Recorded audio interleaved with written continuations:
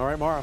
Today, the state is reporting another 515 new coronavirus cases and nine more deaths. Today's headlines Beaumont Hospital's Farmington Hills campus is implementing a no visitors policy starting tomorrow out of an abundance of caution due to a rise in cases there.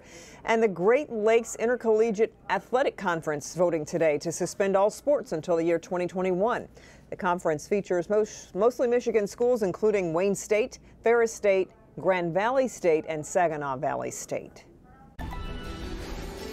Joe Biden and Kamala Harris appearing together today for the first time as running mates. The pair trying to show they're a team with similar values and shared goals as they try to take back the White House amid a pandemic and the racial unrest that we've seen. Alice Barr is in Washington with the latest. The Biden Harris Democratic ticket taking center stage today and stepping into history. Your next Vice President of the United States, Kamala Harris. Senator Kamala Harris is the first black woman on a major party ticket.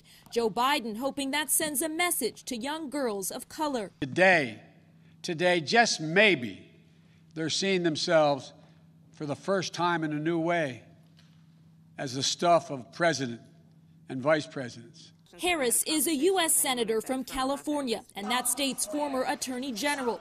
She's the daughter of immigrants from India and Jamaica who met during the civil rights movement.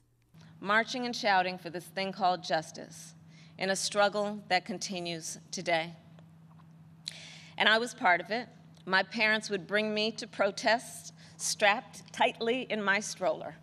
More than 20 years younger than Biden, Harris is already injecting enthusiasm into the campaign. It's raised more than $26 million just since she joined the ticket.